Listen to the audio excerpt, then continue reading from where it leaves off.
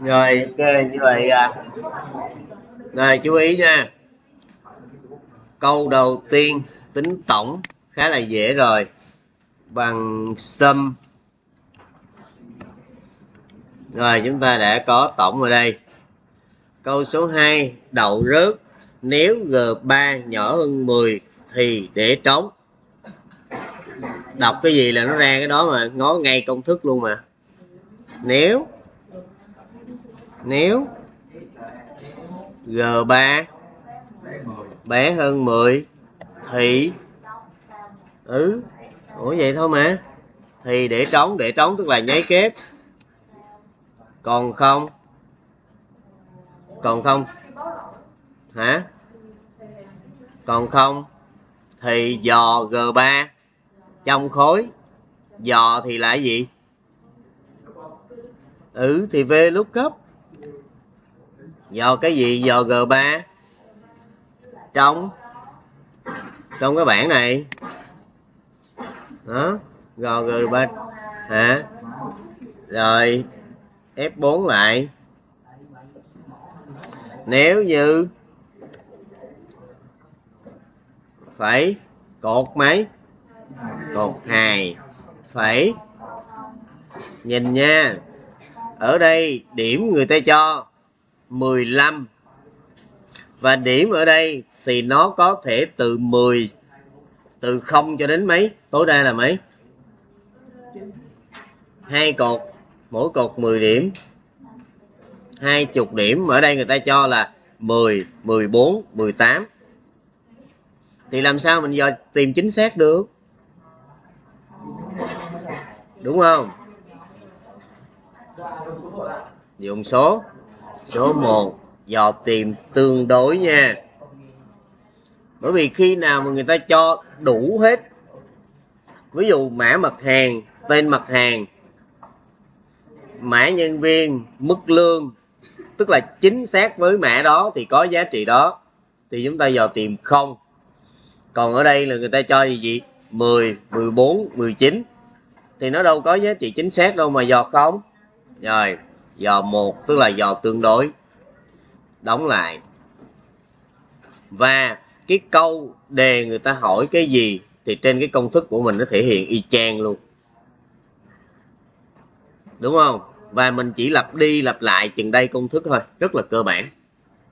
Về lúc cấp if đối với bài này cũng không có gì kết nối. Chỉ có vấn đề là các bạn chưa có nhận định ở chỗ này là chúng ta dùng không hay một chỉ có một vấn đề chút xíu đó thôi. Và chúng ta sẽ copy công thức này xuống. Như vậy thì ở đây 15 4 0 4 0 là nhỏ hơn 10 đó, thì chúng ta sẽ để trống. Câu tiếp theo. Đếm đếm xem số ô trong khối từ E3 F3 bao nhiêu để vào G3 thực ra câu 5 và câu 6 này ghép lại thành một câu nè. Nhưng mà người ta sợ các bạn làm khó cho nên người ta tách ra câu 5 riêng. Chứ đúng ra là câu 6 nó có câu 5 luôn. Như vậy chỗ này chúng ta sẽ khao. Đó, đếm xem có bao nhiêu số. Khao. Rồi chỗ này là chỗ này là không không số. Không số chứ khỏi không phải là số không nha. Không có số nào hết. Còn nếu giả sử chỗ này là không điểm, thì đây nó lên một. Bởi vì bạn này có đi thi, nhưng điểm không. Còn bạn này không có điểm, tức là bỏ thi. Chứ không phải là đi thi mà điểm không hoặc là bạn này chưa thi, thì người ta có thể cho thi lại, ví dụ vậy. Đó, thì cái, ở chỗ này cái ý là vậy. Rồi, nếu trong trường hợp G3 mà bằng không, thì ghi là V, tức là vắng vắng thi. Chỗ này nó thiếu chữ còn không, tức là ngược lại.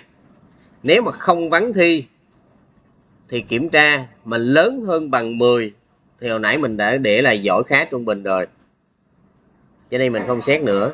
Còn ngược lại, mình nhỏ hơn 10 thì ghi là h. Là hỏng. Đó. Như vậy thì chỗ này mình sẽ kiểm tra nếu nếu như cái ô G3 mà bằng không thì ghi là vắng. Còn không, nếu nếu như cái ô tổng này mà lớn hơn bằng 10 thì bỏ trống, tức là nháy kép nháy kép, bỏ trống. Còn không thì ghi là hỏng. Đó, mình nói gì mình ghi đó đó các bạn. Y chang cái đề luôn. Nó cái đề nói gì thầy ghi lại vậy đó. Tức là từng câu, từng chữ mình ghi nè. Nếu như số điểm thi mà bằng không thì ghi là vắng. Còn không, nếu như tổng điểm lớn hơn bằng 10 thì để trống. Còn không, ghi h.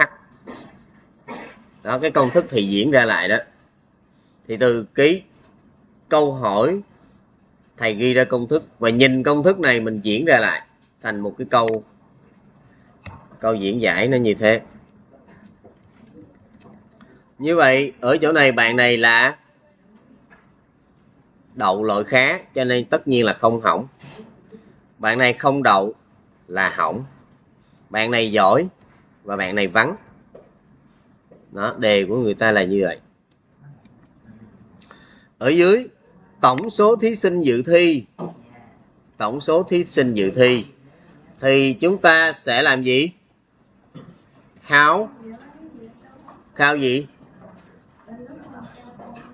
Khao gì à chỗ này tổng số thí sinh dự thi thì các bạn có thể đếm ở bên họ và tên.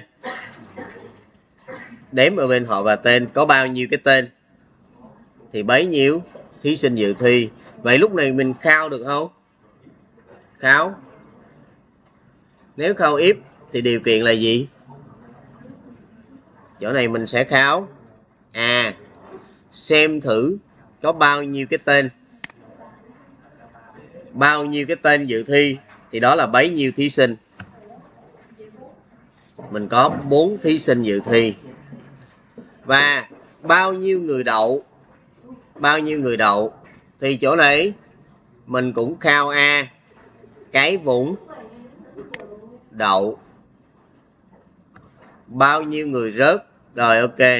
Đây, chỗ này vấn đề. Bao nhiêu người đậu? Cái chỗ này tại sao mà nó ra 4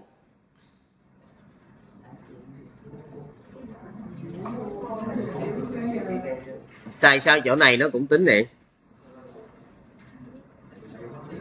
hả? Chỗ này thực ra không trống tí nào đâu.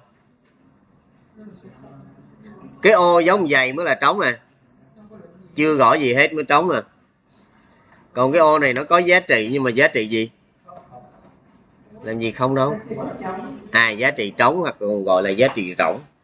Cho nên khi mình đếm ở đây là nó có luôn á. Đây.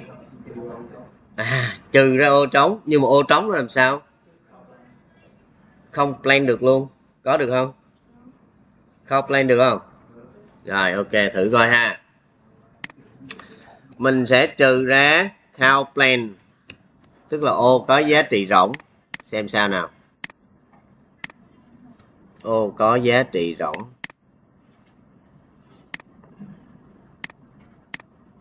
bị gì rồi? Hai chấm h năm. Sáu. Rồi, ok. Tương tự như vậy, thì thay vì h thì mình chuyển qua Z. Cũng làm như vậy. Bằng count câu A. Tức là đếm hết tất cả các ô. Trừ cho count plan. Tùy theo cái đề mà mình sẽ làm ra ha. Count plan. Hai. Hai đậu, hai hỏng.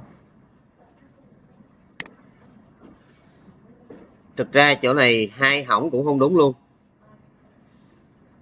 hai hỏng cũng không đúng luôn. Như vậy mình dùng này không được. Vậy mình dùng gì? Tháo. Thao if là chính xác. Thao if thao if ở đây. Với điều kiện h một bạn hỏng. Đó, chứ không phải là hai bạn hỏng. Rồi vậy bên này nó chỉ có là những bạn đầu thôi. Cho nên mình không cần cao ép mà mình đếm rồi mình trừ ngược cái số trống ra. Còn bên này có vắng nữa. Cho nên mình không có cao a bên này được. Nó khác tí xíu. Rồi, như vậy bài này của chúng ta thì nếu khó là khó ở hai câu này. À công thức nó hơi lạ tí thôi. Còn lại những công thức khác là cơ bản là mình thấy ổn các bạn